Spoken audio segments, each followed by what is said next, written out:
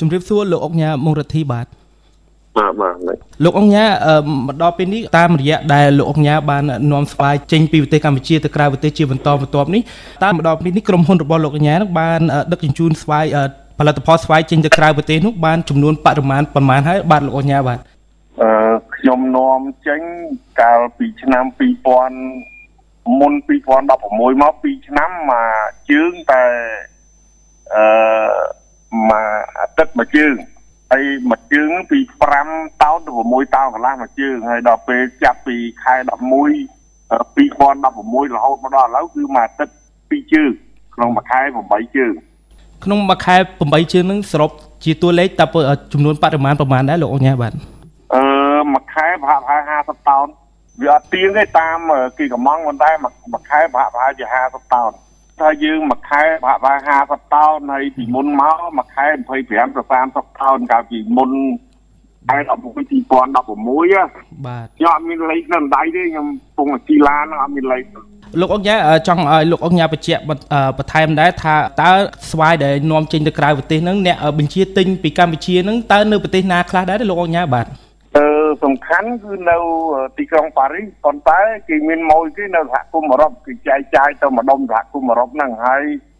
អឺអ្នកទិញគឺថាខ្មែរយើងដែលរស់នៅប្រទេសបារាំង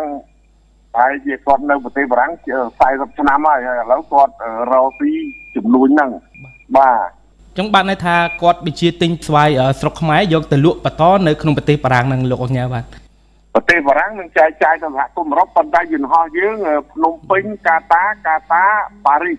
បាទហើយបានពីប៉ារីសគាត់ចែកចាយតាមប្រទេសភ្លើងតាមឡានអីចឹងហ៎ក្រៅពីវិជាពលរដ្ឋយើងគាត់ទិញយកទៅជួញដូរបន្តនៅហ្នឹងតើគេនឹងយកផលិតផលស្វាយយើងយកទៅចម្រាញ់ធ្វើជាអីផ្សេងទៀតដែរទេអាចថាជាស្រាបៀរឬក៏យ៉ាងម៉េចដែរលោកអញ្ញាបាទអត់ទេស្វាយយើងនិយាយទៅហូបស្រស់តែម្ដងអត់មានយកទៅធ្វើជាដំណាប់ជាទឹកស្វាយទេមកវិស្វាយយើងល្អ ហើយបើគេចង់ធ្វើដំណាប់ធ្វើទឹកស្វាយគឺគេមកធ្វើនៅអីអឺចំការតែម្ដងហើយស្វាយនេះអត់ទេយកទៅហូបស្រស់តែម្ដង បាទលោកអញ្ញាតាមរយៈទំព័រ Facebook របស់លោកញ៉ាបានបញ្ជាក់ថាក្នុងមួយជើងគឺក្រុមហ៊ុនមងរទ្ធីគ្រប់នោះគឺបានដឹកស្វាយចេញទៅក្នុងទម្ងន់5000គីឡូក្រាមក្នុងមួយជើងដូច្នេះចង់ជម្រាបសួរលោកកញ្ញាថាតើយើងកំណត់មួយមួយជើងនឹង5000គីឡូក្រាមឬមួយក៏ការប្រមូលទិញយើងក្នុងមួយជើងទៅតំបន់នៅក្រៅប្រទេសហ្នឹងដោយសារតែវិជាកសិករយើងហ្នឹងមិនទាន់ផ្ដល់តម្រូវការគ្រប់គ្រាន់ក្នុងការនាំចេញទៅឬក៏យ៉ាងម៉េចលោកអង្គញាបាទ បាទយន្តហោះហ្នឹងវាអាចដឹកបានត្រឹម5តោនទៅ6តោនកន្លះ7តោននេះប៉ុណ្ណឹងឯងមិនមែនកសិករយើងអត់ស្វាយការពិតកស្វាយយើងយើងសាឡបងគឺស្វាយយើងមានច្រើនមិនមិនអត់ទេប៉ុន្តែបញ្ហាមុននឹងនាំចេញយើងត្រូវតែវិចខ្ចប់លាងសម្អាតសម្លាប់មេរោគបាទតែទាមឲ្យបានល្អបានយើងអាចនាំចេញទៅបានហើយតែយើងធ្វើខូចឈ្មោះហើយគេអត់ទិញយើងទៀតទេអញ្ចឹង បញ្ហា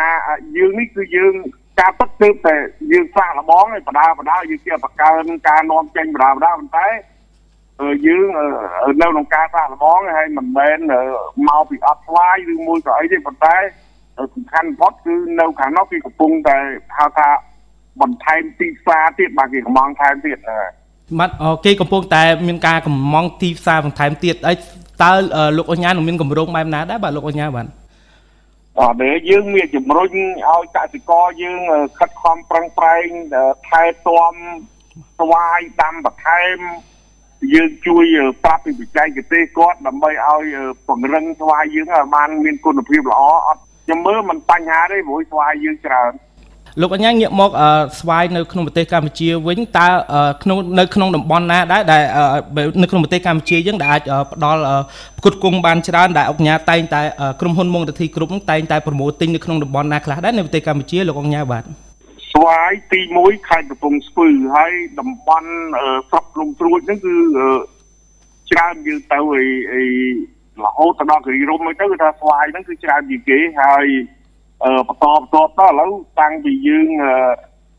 អឺពង្រីកទៅខាងខេត្តព្រះវិហារប្រទីមានជ័យឧត្តរមានជ័យបាត់ដំបងអញ្ចឹងមកហើយបានមកខេត្តកណ្ដាលអឺកំពង់ចាមអញ្ចឹងមកប៉ុន្តែសំខាន់ឥឡូវគឺនៅតំបន់ព្រះវិហារក៏ច្រើនគួរសមដែរប្រទីមានជ័យឧត្តរមានជ័យក៏ច្រើនគួរសមដែរតែទីមួយសំខាន់គឺកំពង់ស្ពឺនឹងឯងស្វាយតែច្រើនស្វាយច្រើនហើយភាគច្រើនល្អមែនទេលោកអញ្ញាអឺ ទុនភាពมันខុសគ្នាទេដោយសារតែមកពីយើងហ្នឹងនេះយើងទៅជួយបច្ចេកទេសគាត់អ្វីដែលគួរកត់សម្គាល់ឃើញថាលោកអញ្ញាក៏បានបានជំរុញនិងលើកកម្ពស់ផលិតផលផ្លែស្វាយដល់វិជាកសិករហើយប៉ុន្តែប្រហែលជាលោកអញ្ញាបានជ្រាបហើយថានៅកន្លងមកហ្នឹងក៏តែងតែមានវិជាកសិករមួយចំនួនហ្នឹងគាត់មានការត្អូញត្អែពីឈ្មួញមួយចំនួនហ្នឹងមានការទម្លាក់ថ្លៃស្វាយជាដើមទៅលើពួកគាត់ដែលជាវិជាកសិករហ្នឹង ដូច្នេះចង់ជម្រាបសួរទៅលោកអញ្ញាតើលោកអញ្ញាមានគម្រោងពង្រីកឬក៏ការប្រមូលស្វាយពីគ្រប់តំបន់ក្នុងប្រទេសកម្ពុជាឬក៏មានការសម្រួលបែបណាដែរបើសិនជាវិជាកសិករគាត់ចង់ប្រមូលស្វ័យលក់ឲ្យក្រុមហ៊ុនមុងរទ្ធីគ្រប់នោះបាទអត់ទេមើលប្រព័ន្ធ Facebook ក៏ដោយក៏ដោយមកវាអត់ជល់គ្នាទេការពិតខ្ញុំអត់ទៅទិញស្វាយដែលគាត់បេះដាក់កញ្ឆេទេគាត់ច្រឡំហើយដល់គាត់ទៅទិញគាត់បេះស្វាយដាក់កញ្ឆេមកលក់ទៅណាគេទិញ អឺអាហ្នឹងអ្នកទិញពេកដល់ពេលខ្ញុំនេះអត់ទេគេទៅទិញស្វាយតាំងពីមិនទាន់ផ្កាណោះគេទៅវិចចប់ទៅតែទាំដាក់ជីមិនអីមិនគេអត់ទៅទិញស្វាយដែលគាត់បេះដាក់កញ្ឆេងទេហើយមនុស្សម្ចាស់ចំការដែលជួបខ្ញុំហើយអត់ដែលខ្ងោពីរឿងតម្លៃទេមិនអីទេក៏អាចរស់បានហើយក៏ប៉ុណ្្នឹងហ៎បាទតែឯរឿងស្រែកថាអូមួយកញ្ឆេបាន5000រៀលហ្នឹងគឺមកអំពីគាត់ ទៅបេះស្វាយលក់ដូចពីដើមសម័យនេះហើយគេអត់ទៅបេះស្វាយលក់ចឹងទេខុសហើយតែសូមកុំភ្លេចថាខ្ញុំមិនមែនជារដ្ឋមន្ត្រីក្រសួងកសិកម្មទេខ្ញុំអត់មានសិទ្ធិអំណាចទេខ្ញុំគ្រាន់តែជួយស្អីដែលខ្ញុំអាចជួយបានទេបាទ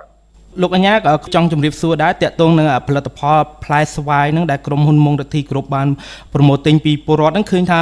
មានការប្រមូលទិញតែស្វាយកែវរមៀតទេដូច្នេះខ្ញុំចង់ជម្រាបសួរលោកអញ្ញាថាមូលហេតុអីបានមានតែប្រភេទស្វាយកែវរមៀតហើយប្រភេទស្វាយផ្សេងផ្សេងទៀតហ្នឹងมันមានការនាំចេញទៅក្រៅប្រទេសដែរលោកអញ្ញាបាទស្រុកយើងមានប្រមូលតែថ្វាយកែវរមៀតអ្នកមិនយល់អត់ដឹងការពិតប្រជាជនយើងដាំតែថ្វាយកែវរមៀតទីច្រើនបើថ្វាយក្រៅក្រៅពីនោះ មានតែបន្តិចហ្នឹងអស់ហើយតែបកែវរមៀតយើងមានរហូតហើយអ្នកអត់ដឹងជាថាទៅហើយដល់ស្វាយដូចអៃវិននឹងមិនធ្វើនេះគ្រាន់តែធ្វើដើម្បីបង្កើតឲ្យមានស្វាយសិននេះហើយការកំងទិញក៏វាយើងមិនអាចគុតគង់តម្រូវការទីផ្សារបានដែរដែលគុតគង់តម្រូវការទីផ្សារបានគឺស្វាយកែវរមៀត ចំពោះលោកអញ្ញាដែលបាននាំចេញទៅផ្ទាល់តែម្ដងតើគុណភាពស្វាយយើងក្នុងការប្រកួតប្រជែងទៅនឹងក្រៅប្រទេសនៅជាមួយប្រទេសជិតខាងដែរតើគុណភាពស្វាយយើងយ៉ាងម៉េចដែរលោកអញ្ញាបាទគុណភាពស្វាយយើងមិនចាញ់ទេឧបមាថាស្មើគ្នារឿងចាញ់តាមួយភាគតូចក៏អត់ដែរគឺមិនចាញ់ទេគុណភាពយើងគឺទទួលស្គាល់ពីអន្តរជាតិតែម្ដង ជាសំណួរចុងក្រោយតើក្រុមហ៊ុនមុងរេធីគ្រប់នោះនឹងមានផែនការនឹងមានយុទ្ធសាស្ត្រអ្វីបន្ថែមទៀតបែបណាដែរសម្រាប់ការនាំចេញក៏ដូចជាការលើកកម្ពស់ផលិតផលស្វាយស្រុកខ្មែរនៅពេលខាងមុខនោះបាទការពិតខ្ញុំជំរុញរួចស្រេចហើយដើម្បីឲ្យនាំចេញស្វាយបានខ្ញុំបានរៀបចំផែនការយុទ្ធសាស្ត្រយូរអង្វែងសម្រាប់អឺកសិករដែលដាំតាមចំការគ្រប់កន្លែងហើយអឺ អ្នកណាដែលស្គាល់គឺតែខ្ញុំតែងតែផ្ដល់មតិយោបល់អីណែនាំគឺបើគាត់ហៅថាបាត់បង់គឺខ្ញុំមិនគាត់មិនអាចមិនអាចអត់គ្រាបានទៅជួយនេះវិញទៅមកបាទបាទផែនការយុទ្ធសាស្ត្រអ្វីដែរលោកញ៉ាអាចបញ្ជាក់បានទេបាទសំខាន់ការដាំមកវាមានបច្ចេកទេសគ្រប់គ្រាន់ការថែទាំដាក់ជីឲ្យមានបច្ចេកទេសត្រឹមត្រូវណាផែនការយុទ្ធសាស្ត្រតែបើយើងដាំខុសខ្នា តខុសបច្ចេកទេសគឺយើងមិនអាចគុតគង់ទីផ្សារគេមិនទិញយើង